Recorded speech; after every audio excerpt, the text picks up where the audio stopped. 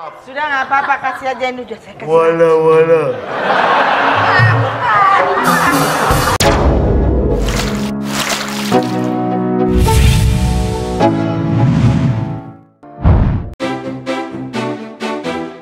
Yang namanya fobia memang gak bisa milih-milih ya guys.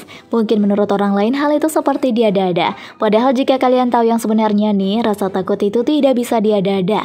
Karena memang sudah ada pada diri masing-masing orang Bahkan tanpa ada yang sadar jika ada beberapa artis tanah air yang nyatanya fobia terhadap makanan. Salah satunya yaitu takut terhadap nasi kotak. Kok bisa ya? Kita intip saja dulu mulai dari Raffi Ahmad, Desta. Deretan artis tanah air fobia sama makanan. Ada yang takut nasi kotak.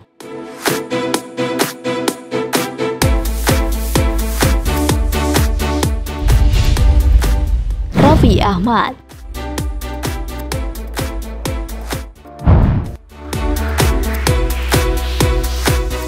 Sejak kecil Raffi takut rambutan. Jangan sampai memegang, melihat atau dekat-dekat dengan buah itu saja, ia ogah. Gue yang geli tuh sama kulitnya, jadi kalau kena sentuh gitu agak-agak gimana. Kalau dulu gue lihat dan pegang rambut itu nggak suka, tapi sekarang kalau melihat sudah mendingan. Ujar suami Nagita Slavina tersebut. Ya, fobianya terhadap rambutan kini tak lagi separah dulu. Menurut Raffi Ahmad ya, lantaran pernah dihipnoterapi oleh Uya Kuya. Jadi mendingan, sekarang sudah lumayan. Bisa makan juga, tapi kulitnya saja yang gak gue nggak suka. Gak pernah mengupas sendiri sih. Lagian paling makan rambutan itu kalau kayak jus rambutan atau apa Gak yang utuh. Pungkas Raffi Ahmad.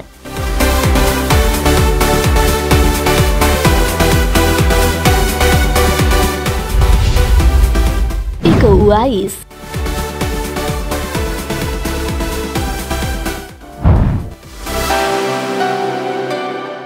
Sebagian orang merasa tak lengkap jika makan tanpa kerupuk, namun tak demikian halnya yang dirasakan oleh Uwais. Aktor laga kondang tanah air itu, Iko Uwais, takut kerupuk.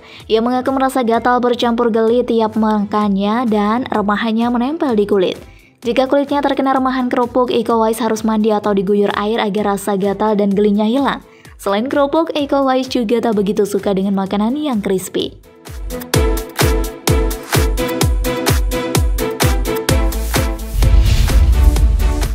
Arafah.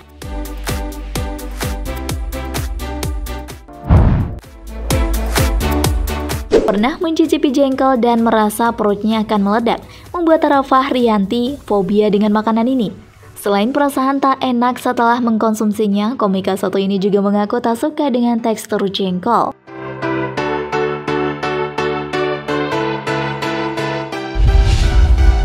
Nindi Ayunda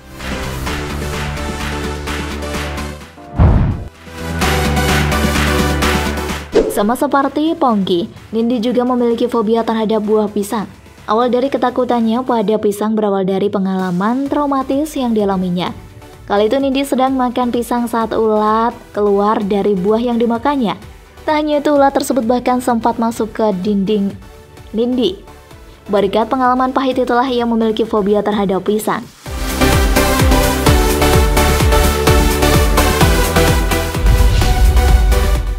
Marisa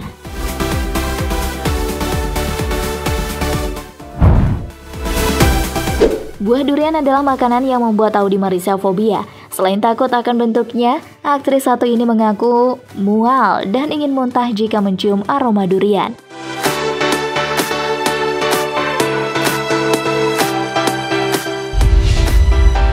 Baby Romeo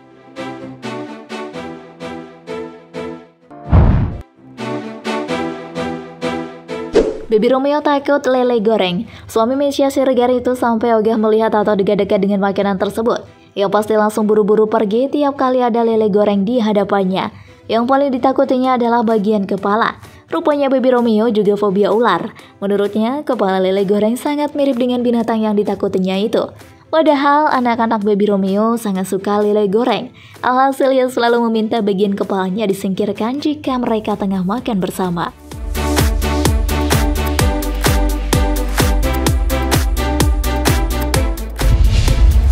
Dikta Yofi and Nuno.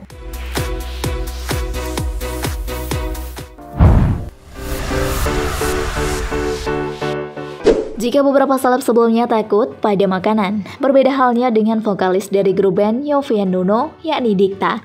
Pemilik nama lengkap Radikta Wicaksono ini diketahui memiliki fobia pada kuku panjang.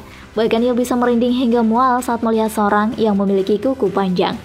Jika Anda menyukai video ini, silahkan klik like dan subscribe untuk mendapatkan video update terbaru dari kami. Orang kuku panjang tuh aneh banget, gue nggak bisa lihatnya. Misalnya bulu mata. Oke, gue lihat pakai extension bagus, tapi gue nggak menemukan itu di kuku. Gue geli banget, merinding gue. Ujarnya di kanal YouTube Kui Entertainment beberapa waktu yang lalu.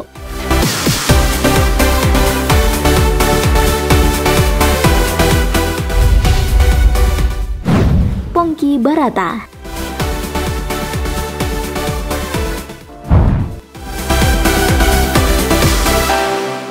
Pongki Barata takut pisang.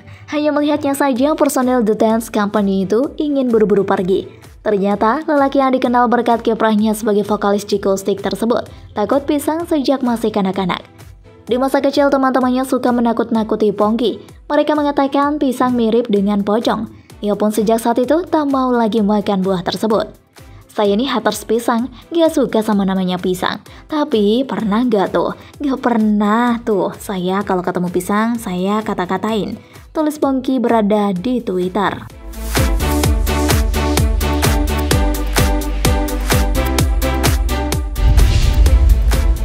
Desta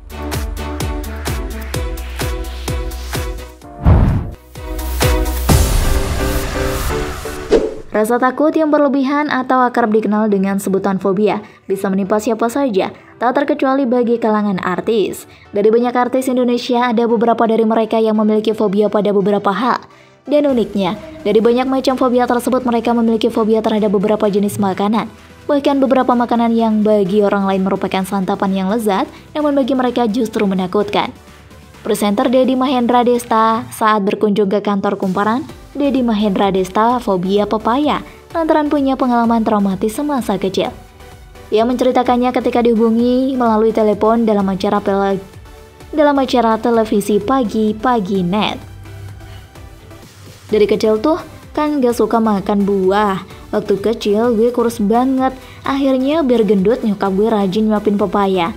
Nah, itu gue enak banget sampai dikejar-kejar, dipegangin. Jadi sampai sekarang trauma dan cium baunya saja nggak bisa. Tutur Desta. Menurut Desta, mendengar nama pepaya saja ia sudah merasa jijik. Kalau ada orang dekat pepaya, goda-godain gue, bercanda gitu, gue bisa berantem.